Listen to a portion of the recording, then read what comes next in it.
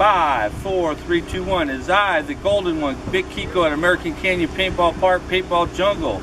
Here I'm with Jeff Morrison, the owner and proprietor of Rrison Paintballs.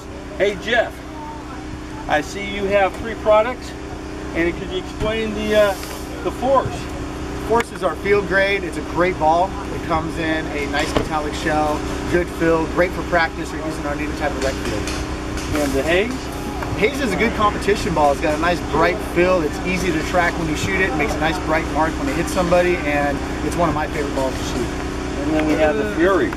Fury is a great ball if you're doing tournaments. Um, I love Fury when I'm shooting anything on an airball field. Out in the jungle, I tend to go towards Haze, but Fury, if you're definitely looking for that break on the distance, you want a nice bright mark and something they can't wipe, the Fury's the way to go. There you go. And like, uh, how long you been playing, Jeff? I've been playing for about 10 years. 10 years. And these are American made. 100% American made. Uh, it's made here in California, and uh, your dollar stays in America when you use Rrison Paintball. And how can we reach you?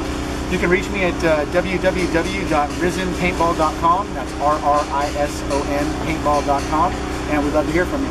Okay, this has been the golden one, Big Kiko, out here at the Paintball Jungle with uh, Jeff Morrison, always doing some R&D, research and development, because that's what he does. He, this guy has the pulse on the game his best, or no, his worst is your best. That's right, the Jeff out here. Until next time, the Golden One, American Canyon Paintball Jungle Paintball Park. Hope to see you here. Check us out on Freddy the Ref.